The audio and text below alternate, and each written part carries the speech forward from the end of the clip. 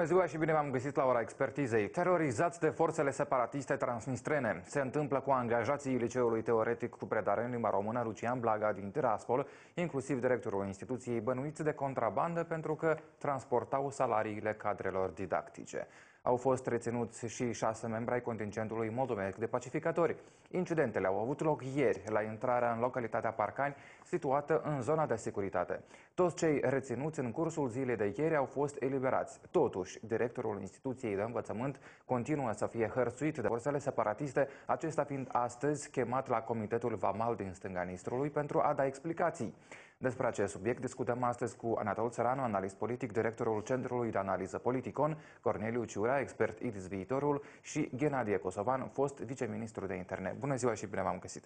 Pentru, întâi, pentru început să urmărim un subiect uh, realizat de colegii noștri de la știri, după care revenim la discuții în platou. Au fost opriți de un grup uh, de reprezentanți ai unor structuri uh, militarizate din regiunea transnistreană. Li s-a cerut să fie efectuată o examinare sau percheziție a autoturismului. Ei nu au fost de acord. A fost convocată o ședință a Comisiei a delegației în Comisia Unificată de Control din partea Republicii Moldova, din partea Chișinăului. Am avut deja consultări cu partenerii internaționali. A fost solicitată o deplasare de urgență a observatorilor militari din partea Comisiei Unificate de Control pentru a se afla la fața locului. Potrivit directorului adjunct al liceului din Tiraspol, Raisa Pădureană, cei trei angajați ai instituției au mers mers la Căușeni, de unde urmau să aducă banii pentru salarizare. La întoarcere au fost reținuți de separatiști. Solicitați să comenteze juriștii de la Promolex care au reprezentat școlile cu predare în limba română din regiunea transnistreană la CEDO în dosarul în care Rusia a fost condamnată pentru violarea dreptului la educație. Au declarat că autoritățile de la Chișinău trebuie să intervină urgent pentru deschiderea unor dosare penale împotriva sepatiștilor. Ceea ce au făcut este, este o infracțiune de fapt, că au oprit, au staționat uh, aceste persoane. Din punctul nostru de vedere, ar trebui să intervină de urgență organele de drept care să se autosesizeze și să pornească uh, cauzele penale. În seara zilei de ieri, directorul liceului teoretic Lucian Blaga din Tiraspol, Ion Iovcev, a fost eliberat. Totodată au fost eliberați contabilul, dar și șoferul liceului. Miliția transnistreană le-a confiscat însă banii, telefoanele și mașina. Tot ieri au mai fost reținuți șase pacificatori moldoveni. Incidentul a avut loc lângă localitatea Parcani, situată în zona de securitate. Printr-un comunicat de presă, Guvernul Republicii Moldova și-a exprimat indignarea față de cele întâmplate și a menționat că este vorba despre o provocare premeditată menită să tensioneze situația și să submineze procesul de reglementare al conflictului transnistrean. În comunicație mai spune că reținerea pacificatorilor în zona de securitate reprezintă o acțiune fără precedent și o sfidare directă la adresa operațiunii de pacificare. Pe acest caz au fost sesizați chiar și partenerii internaționali. Vicepremierul pentru reintegrare Eugen Carpov avea vineri o întrevedere cu șefa așa zisului Departament de Externe de la Tiraspol, Nina Ștanschi. Amintim că la începutul lunii decembrie 2013, miliția separatiștilor a descins la liceul Lucian Blaga cu predarea în limba română de la Tiraspol. Așa zis, administrația transnistreană a inițiat un control. Trimișii săi i-au interogat pe profesori și au făcut mai multe poze. Dascălii care au încercat să filmeze incidentul au fost bruscați și amenințați că vor fi arestați. Ceva mai târziu, în luna ianuarie 2014, pretinsul fisc al separatiștilor a blocat contul bancar al liceului cu predare în limba română pentru că directorul instituției a refuzat să prezinte documentele de activitate și să achite impozitele. Revenim la discuții în platou, iar prima întrebare pe care o am și încerc să, să înțeleg de ce se întâmplă aceste noi provocări, pentru că au mai fost, descinderea au mai fost uh, la liceul uh, Lucian Blaga din Teraspol pe data de 6 decembrie uh, un uh, caz similar. Uh, au mai fost uh, tot felul de declarații din stânga și din dreapta uh, ministrului. Aceste provocări sau aceste incidente, ce a, ce a provocat, ce a declanșat uh, situația, incidentul de ieri, în părerea noastră, domnule Eu cred că este nevoie să mai adăugăm la aceste incidente și uh, declarația mm, așa zisului minister sau Comiteta Securității KGB-ul din Transnistria, care a cerut evacuarea urgentă a, a polițiștilor, uh, reprezentanților Poliției Republicii Moldova din orașul Dinder. Toate împreună luate vorbesc despre faptul că în zona conflictului și în particular în zona de securitate a conflictului se ridică gradul de tensiune și este o acțiune premeditată. Eu cred că Tot ce se întâmplă în această zonă este nimic altceva decât pregătirile care sunt în toi pentru perioada de după Olimpiada de la Sochi, fiindcă orice expert care are o minimă cunoștință despre ceea ce reprezintă astăzi Transnistria nu poate să nu înțeleagă că autoritățile de la Tiraspol nu funcționează într-un regim sine stătător, într-un regim independent. Ei sunt totalmente de, dependenți de politicile promovate de Kremlin, de Moscova și eu cred că aceste tensiuni care acum se întețesc este rezultatul acelei politici pe care o promovează Moscova, care se pregătește pentru o perioadă mai puțin mai îndepărtată după Olimpiadă, când presiunile din partea Moscovei asupra Chișinăului vor crește brusc. Aceasta este prognoza. Până la prognoză o să mai includem și câteva detalii care s-au mai întâmplat uh, în perioada referendumului din Găuzia, dar până atunci, domnule Ciurea, dacă... Păi asta am vrut să zic uh, că, sigur, intenția transnistrenilor este de a evacua cât mai curând posibil și școlile și ultimele rămășiți, uh, și poliția din BNDR, dar acțiunea de astăzi poate fi pusă în relație cu ceea ce s-a întâmplat în uh, Găguz, cu reținerea jurnaliștilor și a deputatului rus. Ideea probabil este de a răspunde uh, după legea talionului dinte pentru dinte, ochi, ochi pentru ochi și de a arăta la sugestia Moscovei că uh, și Transnistria poate să recurgă la asemenea și Moscova poate să recurgă la asemenea gen de intimidare Uh, la care s-au dedat autoritățile noastre de o manieră legală, totuși, în cazul referendumului din Găgăuzia. Totuși, dacă e să vorbim despre felul în care au acționat, uh, arată foarte clar că atunci au fost 15-20 uh, de milițieni cu măști. Domnule Kosovan, cum ați comentat dumneavoastră această descindere destul de în forță? Nu erau oameni necunoscuți, era directorul instituției, unei instituții de învățământ cu predare în limba română, era, nu erau vorba despre niște criminali, dar au fost tratați ca atare. Ă, luând în considerație că ă, Republica Moldova are legisla ă, legislația ei penală și în pofida faptului că teritoriul din Transnistria este sub controlul așa zisilor separatiști, totuși codul penal se extinde și pe acest teritoriu. Și eu o văd ca un atac tâlhăresc a unui grup înarmat, ilegal și nu, nu alta.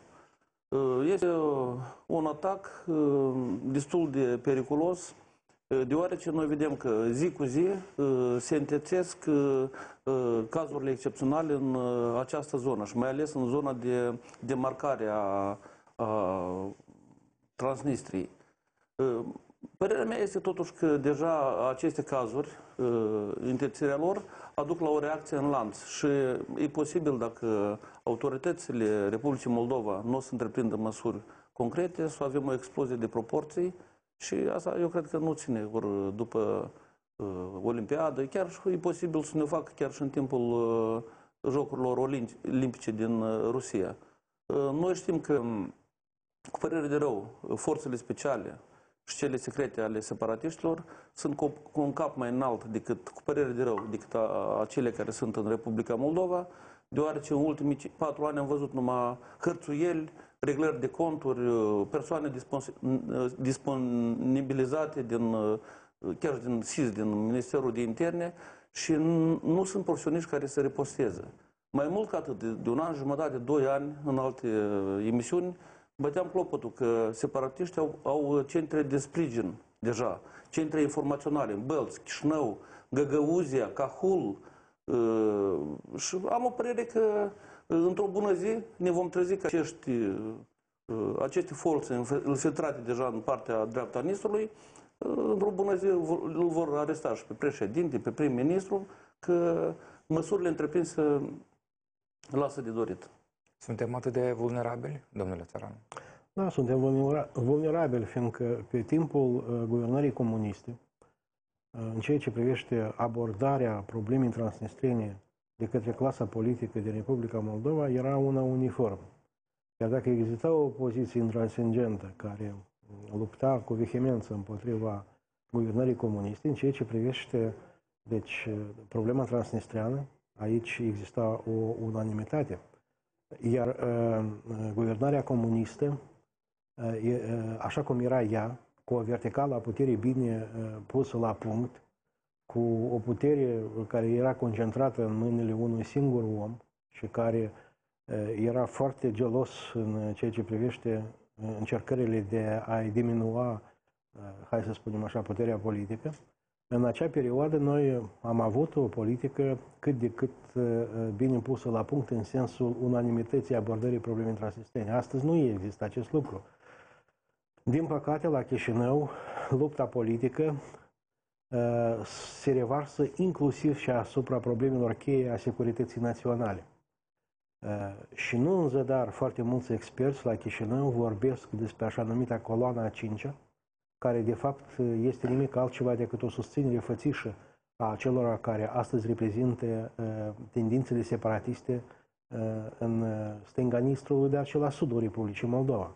În aceste condiții este foarte greu ca statul să se manifeste plenar și eficient în lupta împotriva a separatismului, dar trebuie să dau dreptate domnului colonel în acel sens că, din păcate, există metehnie, inclusiv la uh, capitolul organizarea uh, ripostei la nivelul organelor de stat, în, în cadrul acelor posibilități care există la, la ora actuală. Și aici avem uh, multe neajunsuri care trebuie să fie înlăturate. Dar în ultima instanță trebuie să înțelegem. Noi ne confruntăm acolo, în, la Teraspol, la Comrat, nu numai cu forțele separatiste din interiorul Republicii Moldova. Noi ne confruntăm cu o forță internațională, cum este Rusia, care, de fapt, promovează politici îndreptate împotriva independenței și suverenității Republicii Moldova. Acest dialog între Tiraspol și Chișinău uh, se mizează foarte mult pe discuții, pe uh, diplomație. Acest lucru mai uh, poate fi aplicat uh, sau această modalitate de discuție, având în vedere că se întâmplă tot felul de incidente, tensiuni, provocări de tot felul, iar uh, ceea ce face Chișinău în ultima instanță, atunci când reacționează, este doar să facă un apel sau să doar să facă anumite declarații. Uh, dincolo de această capacitate diplomatică a Chișinăului, ce mai putem face? Și ce ar trebui să facă? Nimic. Capacitatea diplomatică este suficientă pentru a rezolva acest gen de conflicte, pentru că și transnistrenii trebuie să țină cont de anumite constrângeri la care sunt în, permanență, în permanență supuși. Ei joacă, uh, joacă, pentru că vorbim de niște negocieri care este un joc în anumite limite. Ei îl uh, arestează, îl rețin pe domnul Iovcev, dar ei nu închid în totalitate liceul. Nu merg până la ultima consecință. În aceste condiții, Chișinău nu are pretext, nu are motivul să intervină altfel decât o face de o manieră diplomatică. Și chiar dacă ar recurge la această ultimă măsură, ă, nu cred că Chișinăul ar face bine dacă s-ar deda la tot felul de acțiuni agresive, el ar putea să iasă din mecanismele de create în 92 și asta ar fi, cred, suficient pentru a da de înțeles Moscovei că Chișinău nu mai joacă potrivit regulilor stabilite, apropo tot de Moscova. Deci, ca să înțelegem foarte clar, mecanismul de negociere a fost creat în 92 și 98 și el convine în fond Moscovei zona de securitate, trupele de pacificatori și în fond Chișinăul pentru a nu agrava lucrurile joacă potrivit acestor reguli. În cazul în care însă și aceste reguli vor fi încălcate, Chișinăul va avea motivul să iasă și atunci uh, Sigur, noi nu vom mai avea niciun punct de sprijin în Transnistria, nu va fi clar care va fi situația în Bender, dar uh, nu vor mai exista reguli de care să se conducă și Moscova. Și asta s-ar putea să fie o situație care să nu convină uh, celor din, de la răsărit.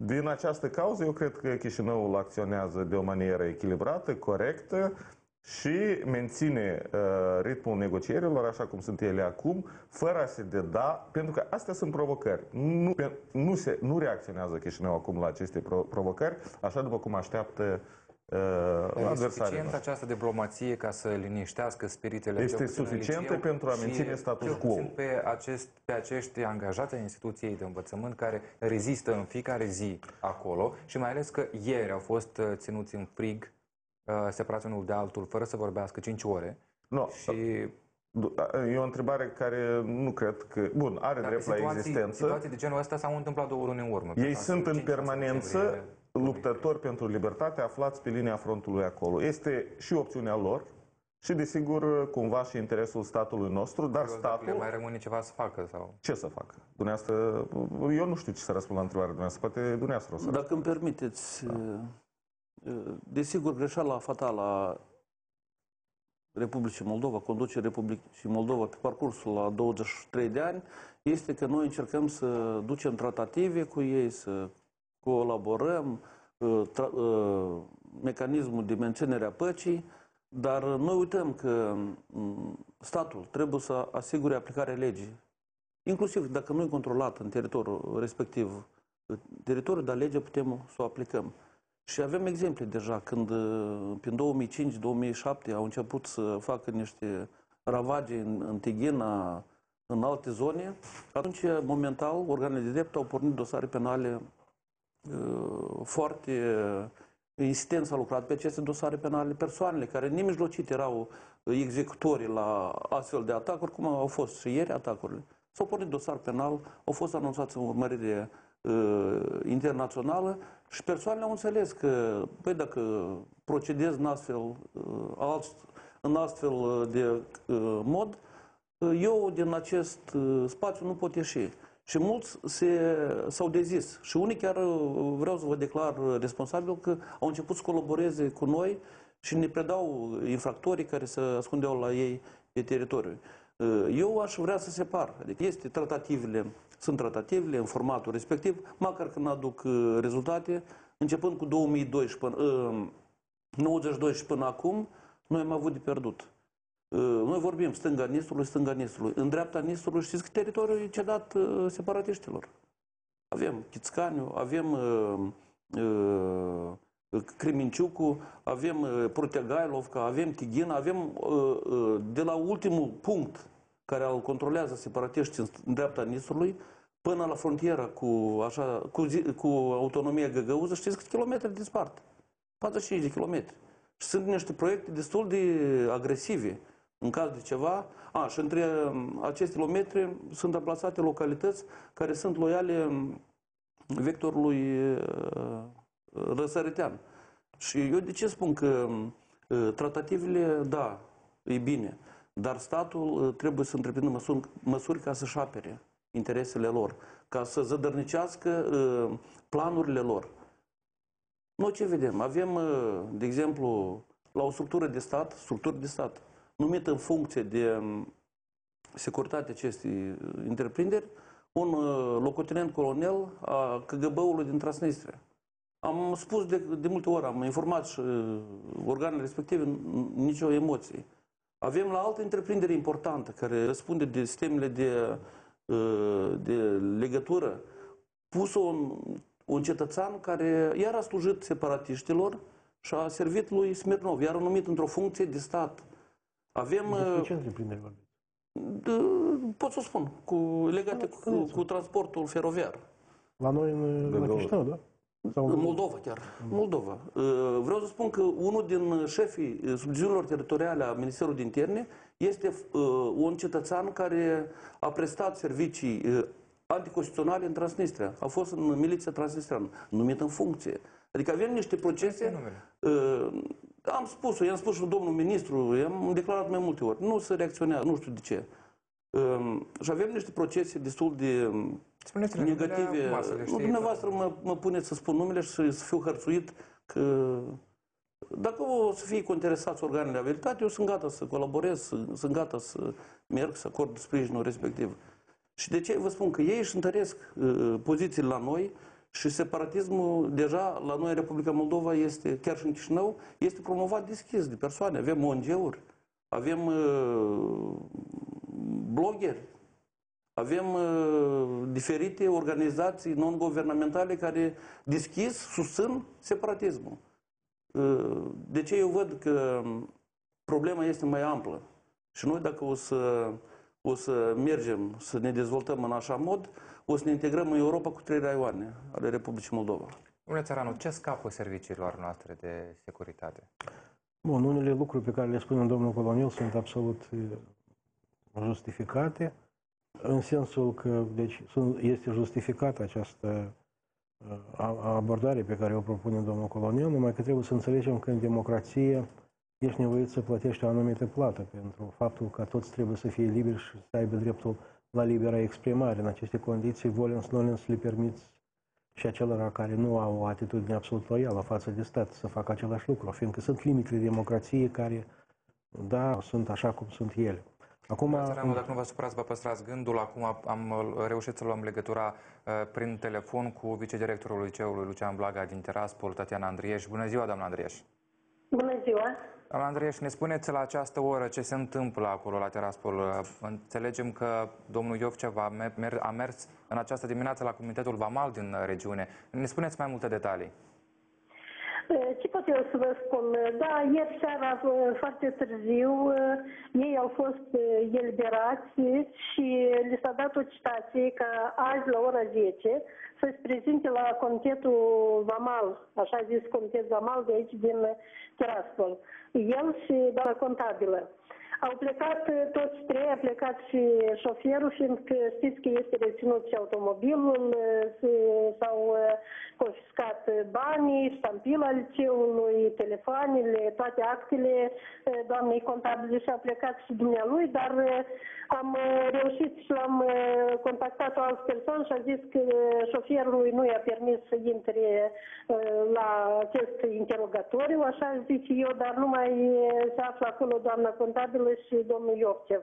Detalii nu avem, suntem foarte stresați, foarte alarmați de tot ceea ce se întâmplă și atât aș putea spune, dacă aflu ceva, aflăm ceva, sigur că o să dăm publicități tot ce se întâmplă. Dar știți, suntem într-o stare toți de alertă, deci mi se încalcă toate drepturile, nu numai la, la studiere în limba română, toate drepturile mi se încalcă aici, chiar și dreptul de a ridica salariul pentru munca prestată pe care am făcut-o noi. Vreau să ne spuneți, ieri ați stat aproximativ 5 ore. Ce, ați, uh, ce detalii puteți să ne spuneți despre ziua de ieri, cum a, cum a decurs, ce au făcut? Au uh, V-au agresat sau uh, verbal? Cum a fost? Uh, ce s-a întâmplat mai multe? Dacă Vedeți, eu n-am fost. A fost uh, doamna contabilă Tamara Muntean și domnul Iosef și au trei persoane era șoferul, dar au fost reținuți la intrarea în satul Parcani s-au comportat foarte obraznic, foarte grosolan, erau amenințați, cum am făcut-o și pe data de 5 decembrie, eram amenințați că vom fi închiși pentru fapt că uh, facem uh, să împotriva așa zise republici din interior vrem să o distrugem, că noi nu știu cine suntem, suntem coloana 5 și facem ceea ce uh, vrem noi și suntem uh, pe teritoriul nostru, trebuie să ne spunem legilor. Iată, în felul ăsta suntem în permanență agresați, uh, josiți, cu strigăte, cu clar că atunci acum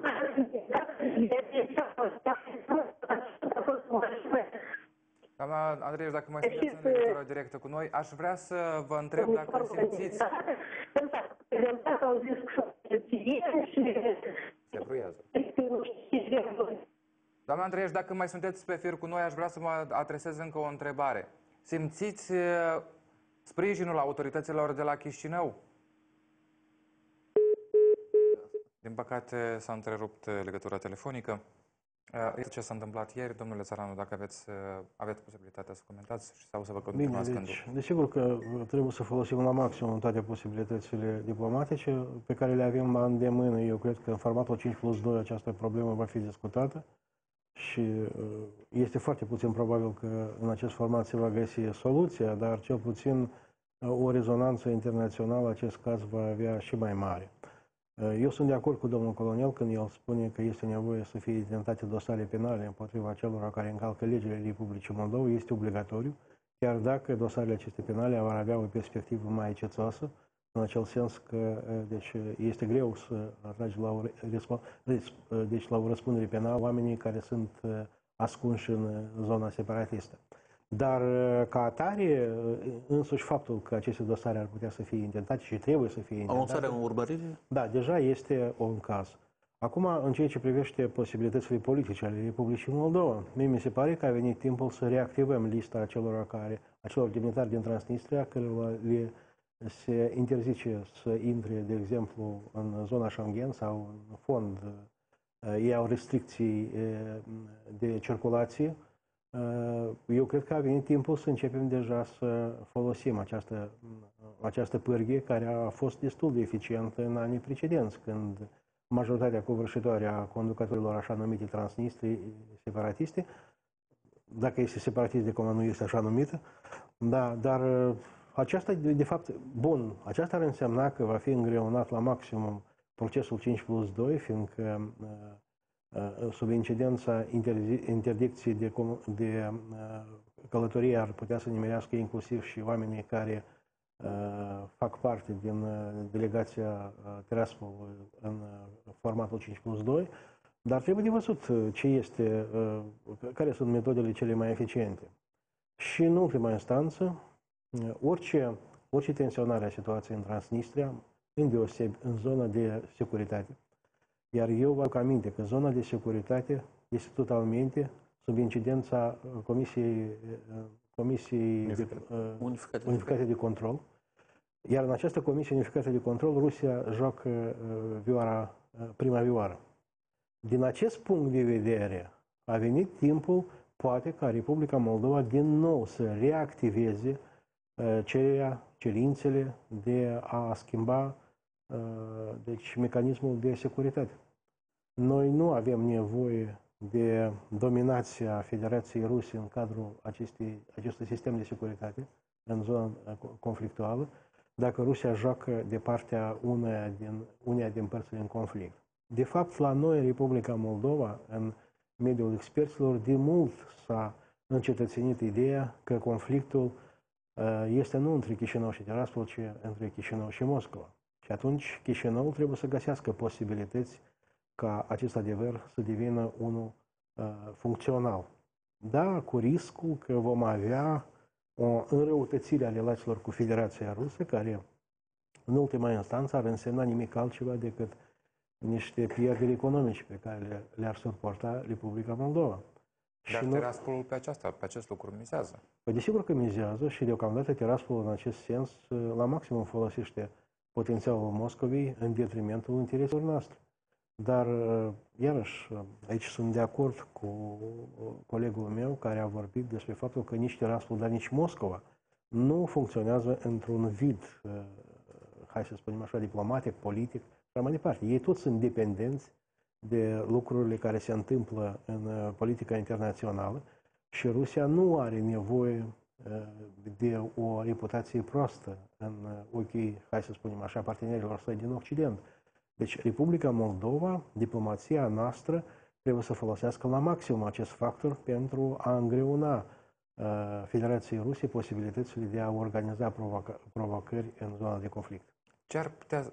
Da, vă rog, domnul uh, Destul de interesant, uh, domnul Țăranu a accentuat, dar uh, eu totuși, ca profesionist în domeniul de forță, aș vrea să spun că practica care am avut-o până în 2010 ne-a demonstrat că și Rusia uh, acceptă uh, reguli de joc în combaterea terorismului, în combaterea traficului de ființe umane, în, în combaterea traficului de arme, în combaterea traficului de droguri. În ce condiții în, Și vreau să spun că în zona transnistreană asta este o gaură neagră unde, ace, unde sunt toate aceste componente. Și dacă organele de drept ale Republicii Moldova insistent vor documenta cazurile respective, cum anterior am demonstrat că în Tighena se construiau uh, uh, mașini uh, de luptă de tip uh, uh, grad, că la Ribnița se făceau aruncătoare de granade. Și când am furnizat informația asta că ar, acest armament ajungea și în Cecenia, să știți că colegii din Rusia foarte bine s-au documentat și au întreprins măsuri. Uh, eu ce vreau să spun? Că noi, aspectul politic e aspectul politic, dar aspectul criminal, infracțional, este un aspect care, care atinge pe toate țările.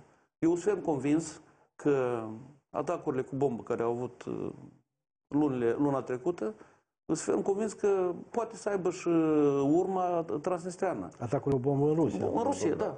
Au fost... uh, uh, De ce spun așa? Că cu doi ani în urmă, în Odessa, în centrul Odesei, a fost anihilat un grup uh, criminal terorist care pregătea tentativa de omor asupra lui Putin, dacă vă aduceți aminte. Și unul din cetățenii respectiv, din membru acestui grup, uh, locuia în Transnistria. Uh, Da, cu părere de rău, era documentat ca cetățean al Republicii Moldova, a primit actele noastre, dar locuia în Transnistria. Și eu socot că Transnistria este o zonă uh, unde susține teror- terorism, de susținerea terorismului, inclusiv și băncile lor ilegale, uh, semi-ilegale, legale, oricum să le mai spunem acolo, ele sunt sursa de, amilio- de, cum, de Finanțare. finanțarea terorismului. Și dacă vor ridica problemele astea, uh, nu pur și simplu politică, ei ne-au ocupat satul, ne-au dat aceea, dar dacă o să ridicăm problema terorismului, uh, spălării banilor, uh, traficul de armament, uh, traficul de ființe umane, uh, contrabanda, eu am mai zis-o și o mai repet, am făcut uh, cercetări, se introducea în Transnistria uh, pulpe de găini, știți cât?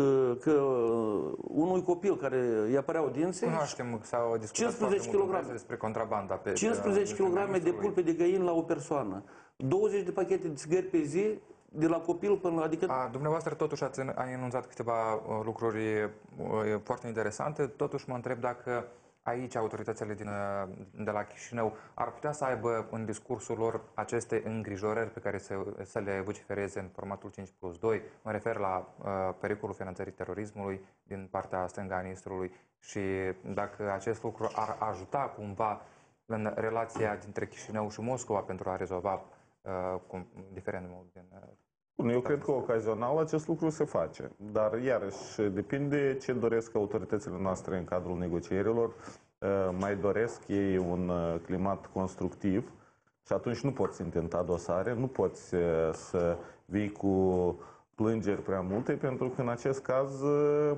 riști ca partea de vis-a-vis să părăsească negocierile. Uh, din 92 până, îmi cer scuze, din 92 până acum niciun constructivism n-am văzut din partea lor. E, e, Aveți dreptate așa, dacă te uiți de sus, e, mari progrese nu au fost înregistrate. Dar ex- este un proces care fie se desfășoară, fie nu. Atunci când negocierile nu au loc, atunci poți să fii agresiv. Atunci când negociezi cu cineva, trebuie să fii mai îngăitor, îngăduitor, chiar dacă acest lucru pe alocuri îți uh, lezează drepturile tale. Și, da, uh, în primul rând, drepturile. Deci, eu, eu, aceste lucruri au mai fost spuse uh, și noi suntem, sigur, de acord cu ceea ce spune domnul colonel. Aceste încălcări se fac. Transnistria este o cutie neagră, lucru care tare, uh, nu le place să audă, pentru că ei vor să creadă că teritoriul lor este uh, cumva uh, supus legilor, ceea ce nu este adevărat. Dar uh, trebuie să recunoaștem că autoritățile noastre nu întotdeauna pun degetul pe rană și ridică aceste probleme, deoarece au de rezolvat alte probleme. De exemplu, astăzi este foarte important pentru Bruxelles chestiunea acordului de liber schimb aprofundat și cuprinzător. Și Bruxelles, Uniunea Europeană, vrea foarte mult ca Transnistria să facă parte din această zonă de liber schimb. În aceste condiții, Uniunea Europeană dorește să mențină negocierile într-o stare cât de cât acceptabilă și să momească Transnistria în această zonă de liber schimb. Chișinăul trebuie oarecum să se conformeze și să fie și el cu mănuși albe în raport cu Să Transnistria. admitem ipotetic, Chișinăul semnează acest acord de asociere și DCFTA, acordul de liber schimb. Problema nu este că prezentat semnează Chișinăul, problema este și Transnistria să facă parte din el. Să, ad- să, să, admitem, să admitem că acest lucru se întâmplă. Da. Provocări de genul uh, care au mai fost și care au fost uh, și ieri, uh, se vor întâmpla sau va scădea incidența acestora? Bun, domnul, deci, domnul Ciuri are în vedere faptul că atragerea uh, Transnistriei, zonei transnistrene, zonei separatiste în acest acord ar însemna uh, creșterea, uh, hai să spunem așa, atractivității Uniunii Europene, inclusiv pentru uh, decidenții din uh, Transnistria și, în primul rând, pentru agenții economici. Deci, regimul din Transnistria va fi pus într-o situație mai, mai delicată, când va fi nevoit să ia în considerație inclusiv și interesele uh, agenților economici de acolo, din uh, Transnistria. Este adevărat că această cale este foarte lungă și anevoioasă și mai puțin eficientă, dar a, asta este optica uh, funcționarilor de la Bruxelles. Iar uh, relația noastră cu Bruxelles este atât de importantă și, hai să spunem, atât de delicată că noi deseori suntem nevoiți, uh, în primul rând, să luăm în considerație, hai să spunem așa, mesajul Bruxellesului, cum este el formulat. Iar occidentalii, occidentalilor nu le plac războaie, nu le plac tensiuni. Ei ar prefera ca conflictul transnistrian, așa cum este el astăzi, să se consume în exclusivitate doar în cadrul negocierilor politice. Chiar dacă nu, nu pot să obții un rezultat foarte rapid sau relativ rapid. De aici și, și tacticile Chișinăului în această privință. Dar uh, este absolut evident că uh, Moscova își are și ea interesul său. Dacă Bruxelles are interes să atragă Transnistria în zona aceasta de comerț liber, păi uh, Rusia invers va face tot posibil ca să obstrucționeze acest proces. Și Rusia, spre deosebire de Bruxelles, procedează mult mai brutal, iar dacă mai brutal înseamnă că e și mai eficient, cel puțin la, la ora actuală. Iarăși, este, dacă, dacă ar exista soluții simple, cu siguranță ele ar fi fost aplicate. Problema e că nu există aceste soluții simple și Chișinăul este nevoit să, să folosească cum pârghii politice la maximum, așa și să gândească și la necesitatea de a aplica și niște pârghii mai radicale, acele pe care le formulează domnul colonel. Dar eu cred, uh, uh, părerea mea este că noi trebuie să îmbinăm aceste două abordări și să găsim acel, acea mediană de aur, de mijloc, care îți permite să uh, obții rezultate. În condițiile, și, și cu aceasta vreau să finalizez, în da. condițiile când, iarăși, majoritatea experților sunt de părere că la ora actuală nu există premize pentru a înregistra un proces notabil în ceea ce privește uh, reglementarea politică în Transnistria. Nu există. Deci pozițiile sunt atât de divergente a, a principalilor actori politici implicați în acest proces și aici am în vedere în primul rând Occidentul și Rusia, că astăzi să mizăm pe o soluție magică este puțin probabil. Problema politică rămâne de 23 de ani una foarte sensibilă, dar la nivel interuman și atunci când Chișinăul este așteptat pentru anumiți oameni, cel puțin uh, pentru cei care uh, merg la școală, pentru angajații acestei instituții, Lucian Blaga din Tiraspol, cum ar trebui să reacționeze Chișinăul și poate ar trebui să le acorde privilegii sau să fie tratați într-un fel anume, pentru că uh, de altfel, dacă nu există un anumit tratament sau nu simt acest sprijin, scade și lipsa de motivație pentru această luptă pentru că, pe, pe care o duc în fiecare zi. Lupta este foarte dificilă, în special pentru acești oameni care se află pe teritoriul transnistrian. Noi nu putem spune că Chișinău nu are grijă. Vedem că chiar banii care au fost răsmiși sunt salariile care sunt plătite profesorilor și aceste școli care acționează pe malul stâng, ele sunt în subordinea Chișinăului și profesorii au anumite sporuri uh, la salariu. Uh, aceste școli uh, se bucură de un anumit sprijin și de proiecte care vin din partea Chișinăului. Este, sunt lucruri care nu trebuie să fie neglijate. Este evident că aceste școli sunt hărțuite și cei care lucrează în aceste școli sunt eroi care luptă pe acest câmp de bătălie. Vreau să vă dau o cifră care se conține în rapoarte. Deoarece situația este foarte complicată, din 5.000 de elevi, 5.000 ceva de elevi care au învățat în școlile de pe malul stâng, cele 8 școli, au mai rămas 2.000 și ceva. Deci numărul se micșorează. La, trebuie să ne gândim și la un alt lucru dacă purtăm acest război. Ce, ce facem dacă numărul se va micșora în continuare? Și aceste școli, la un moment dat, pur și simplu vor dispărea fizic, pentru că nu vor mai, mai avea elevi. La acest lucru tot trebuie să se gândească Chișinăul.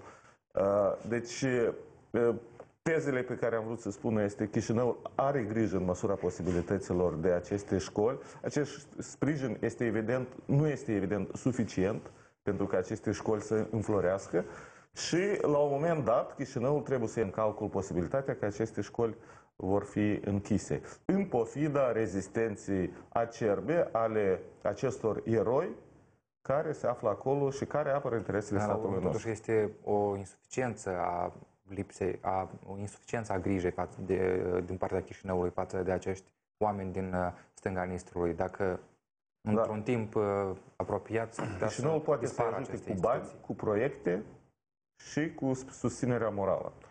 Iar mai putea ajuta și prin alt fel. Unii directori vor să se includă, de exemplu, în viața politică de Republica Moldova. Ei ar trebui să fie mai des în, în prim planul, domnul Țăranu știe de acest lucru, dar în fond este clar că directorii de școli se plâng de situația existentă, este clar că ei sunt hărțuiți și este clar că Chișinău nu poate să le ofere tot sprijinul pe care ei îl doresc. Eu am să aduc un singur exemplu ca să vă demonstrez cât de complicată este situația. De exemplu, elevii care absolv, deci absolvesc școala în Transnistria au acces liber la instituțiile superioare de învățământ din Republica Moldova și este absolut firesc ca așa să fie. Numai că în sistemul transnistrian de învățământ, acolo sunt 11 clase, pe când în sistemul moldovenesc sunt da, două, două liceele se învață 12 clase.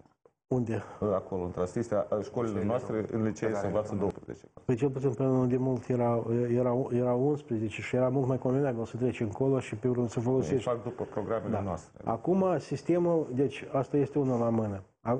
Atunci când vorbim despre situația, despre situația elevilor, dar și a pedagogilor din Transnistria, trebuie să înțelegem ei trebuie să obțină anumite, anumite privilegii ca aceste școli să fie atractive pentru elevi. Altminteri, noi cu greu vom putea să menținem uh, același nivel de atractivitate a școlilor cu predare în grafie latină uh, decât uh, școlile cu predare în, în grafie chirilică. Este absolut evident acest lucru și domnul Ciure are perfectă dreptate când spune că noi am putea să ne trezim la un moment când școlile acestea deja nu vor mai avea uh, elevi. Deci aceste privilegii, aceste uh, niște lucruri care uh, servesc ca, ca școlile acestea să devină atractive, neapărat trebuie să fie implicate, cu, cu atât mai mult cu cât cu adevărat aceste școli pedagogii în primul rând, dar și părinții și elevii sunt pe prima linie de luptă pentru, uh, uh, pentru păstrarea integrității teritoriale a Republicii Moldova. Trebuie să înțelegem acest lucru. Ar putea Chișinăul să pompeze bani pentru ca uh, să fie dotate aceste licee cu cu, cu săli mai bune, cu să fie reconstruite. Nu mai bani. Săli. Chișinăul și, poate... Și încă un aspect. Dacă am văzut totuși că au, au mers la Căușeni acești uh, administrația liceului împreună cu contabila și uh, șeful instituției, au mers la Căușeni pentru, a, Căușeni pentru a lua acești bani personal. Nu există alte metode, au încercat să evite uh, ce se va întâmpla luna viitoare atunci când... Dacă, dacă îmi permiteți, pentru mine Transnistria este o durere personală, deoarece personal am participat la luptele de acolo, avem camarazi căzuți, sunt camarazi de arme care locuiesc în zona aceea și vreau să vă spun, parcursul anilor de aceste zone chiar eliberate și care sunt în jurisdicția Republicii Moldova, sunt date uitării. Nu numai școlile, toți cetățenii sunt dați uitării. De exemplu, am acum satul Coceri. Trans, trimiteți o grupă reportor și o să vedeți în ce condiții trăiesc. Trăiesc ca cum era Leningradul, în blocadă. Cetățenii n-au acces cu Sania, duc peste gheață, duc marfa, peste Nistru, duc. Guvernanții noștri apar acolo numai în timpul alegerilor, am dat exploatare un monument în cinstea eroilor și mai mult nu vin în zona ceia. Noi avem satul Vasilevca din platou Coceri. Practic, el totalmente uh, au primit cetățenia transnistreană. De ce? Că nu sunt proiecte, nu sunt pro, programe, nu numai că să ducă bani cu geanta ăștia, dar, de exemplu, Cocieriu, uh, transportul care e amplasat în uh, platou Cocieri, uh, duc în Transnistria pentru combustibilul care îl procură ei din Transnistria, știți cât? 16 milioane de lei, noi uh, suplinim bugetul transnistrean. Dar de ce să nu facem noi um, niște condiții pentru platou, nemijlocit pentru platou Cocieri, ca să facem niște reduceri, ca să vei separatiști să, să ducă bani din contra în platou ăsta. Am fost la uh, zile de pomenire, la cămărazi de arme căzuți Și e dureros faptul că colacii cumpără iară din dubasare la separatiști. Uh, Acolo sunt proiectele sociale sunt date uitării.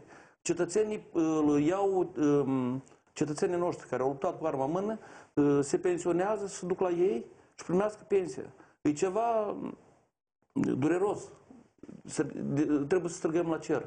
Dar nu mai vorbim de uh, cetățenii care locuiesc în zona, trans, chiar în, în Transnistria. E, Avem... Nu există această problemă, oferta socială pe alocuri pentru anumite categorii de persoane? Nu numai socială, gazul, energie electrică și cu asta îi atrag pe oameni. Și oamenii când văd, văd că nu sunt susținuți de, de statul nostru, sunt ei sunt impuși. economici pe care ar trebui să, de care ar trebui să țină cont uh, și uh, Chișinăul face acest lucru sau nu face. Plus la acest lucru, mai există și un aspect, pe data 23 expiră o lună de la acel comunicat de presă, de la acea tentativă a KGB-ului Transnistria, prin care a cerut uh, uh, organelor de forță din zona de securitate să se retragă. Ce se va întâmpla? Ce înseamnă acest ultimatul? Ar trebui poliția noastră să se retragă?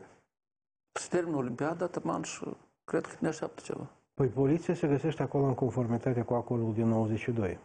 Uh, Cererea aceasta de a retrage forțele noastre uh, din, uh, din Bender înseamnă nimic altceva decât renunțarea de către Tiraspol la acordul din 92, cu toate consecințele. Ar însemna aceasta că, că și Chișinăul ar putea să meargă pe această cale, cu atât mai mult cu cât la noi aici foarte des se vorbește despre necesitatea abandonării acordului din 92 și refacerii sistemului de pacificare din uh, Transnistria, cel puțin revizuirea lui.